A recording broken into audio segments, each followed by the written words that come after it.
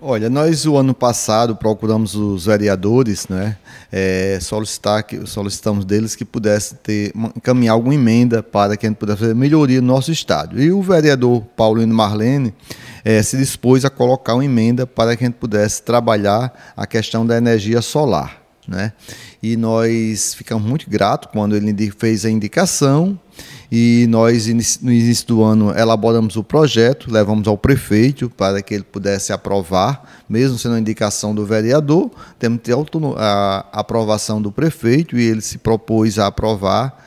E também dizendo que iria em breve, bem, bem breve pagar a emenda, nós já estamos com a, com a emenda aprovada e no empenho, só esperando a ordem de pagamento, a gente está esperando até que saia esses dias agora, para a gente iniciar o trabalho para a gente é muito gratificante, né? porque nós estamos, sentimos a necessidade da gente utilizar o campo mais na parte da noite, final da tarde, da noite, devido ao alto grau da temperatura no nosso município. Mas nós estamos vivendo agora cada dia mais, eu digo os meninos, antigamente a gente jogava de 3 horas da tarde lá num, num num campo do JK e todo mundo aguentava. Hoje, sendo marcado de quatro horas no Edgazão, o povo reclama da quintura e de fato é muito quente, certo? Então, para isso a gente tem que encontrar novas alternativas, né? E a gente uma das alternativas seria o uso do campo mais na a parte da noite. Então, nós estamos com dois projetos. O primeiro projeto é esse da da energia solar, eu acredito que a gente possa começar até no final, agora, final de abril, a gente já possa tá, ter iniciado a obra e também a mudança da energia das lâmpadas para LED. Né? Nós estamos com essa emenda também já aprovada, já está empenhada, a, esperando ser paga qualquer, a qualquer momento.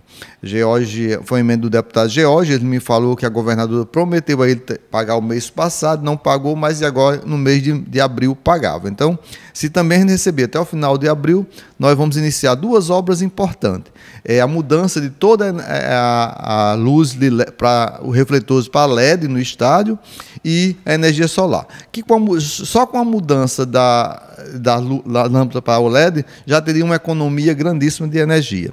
E a gente colocando a energia solar também seria, será fundamental para as nossas ações. Então são dois projetos que eu espero até o final de, do ano estar com isso concluído para que a gente possa caminhar é, continuar lutando para que as coisas na nossa cidade se permaneçam é, com boas condições. Eu tenho uma preocupação muito grande de manter é, a, o zelo pelo nosso patrimônio, porque a gente, a nossa cidade precisa manter o que tem e sempre chegar com novas coisas, certo? Então a gente está trabalhando para isso.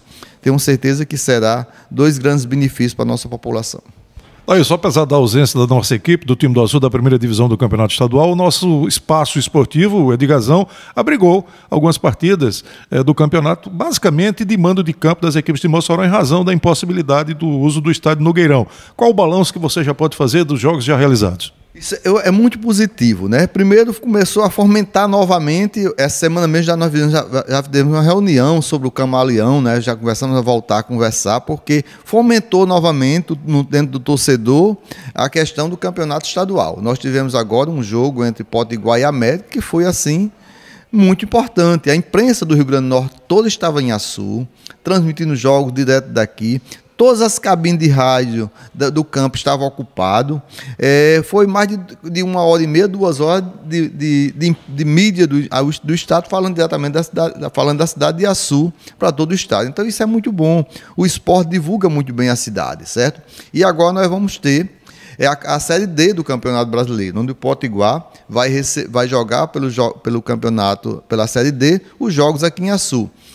O campeonato começa agora dia 28, mas os jogos em Açu só tem dia 4 de maio. Então o Potiguar já vai receber seu primeiro adversário aqui, é, campeonato brasileiro, Série D. O nível é, vai, vamos receber equipes aqui de vários estados, certo? Então isso é muito bom, isso projeta a nossa cidade, tá certo? Então eu fico muito feliz e o estado está à disposição e fico mais feliz pela, pela quantidade de elogios das, da imprensa, a imprensa do Rio Grande do Norte na situação do nosso estádio.